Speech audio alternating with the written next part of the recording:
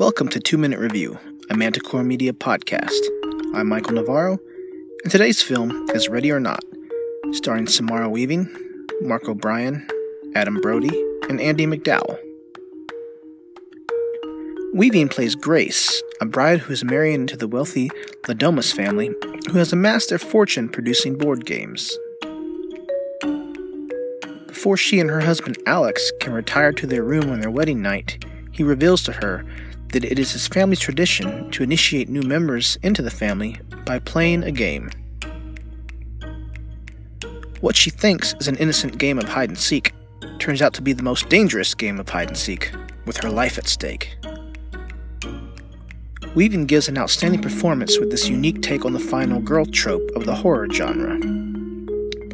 She blends a perfect combination of fear and perseverance. Expect to see her in bigger and better things.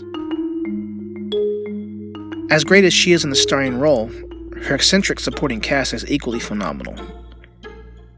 Henry Czerny, who you may remember as the conniving Conrad Grayson on the ABC drama Revenge, plays the equally sinister patriarch.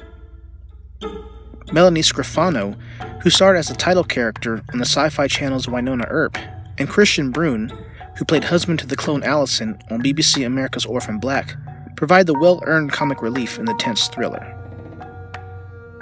However, it is Nicky Guadagni who steals every scene as the overly sadistic Aunt Helene. But perhaps the unsung hero of the movie is the Le Domas mansion itself. Its ornate design, candlelit atmosphere, and maze like corridors provide the perfect setting for this film. If It Part 2 is the first horror movie of the year you need to see, this should be the second.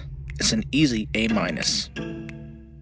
Thanks for tuning in, and be sure to check out other episodes of Two Minute Review and the Manticore Media podcast in video form on YouTube or in audio form on any of your favorite podcast apps, including Apple, Google, Stitcher, and Spotify.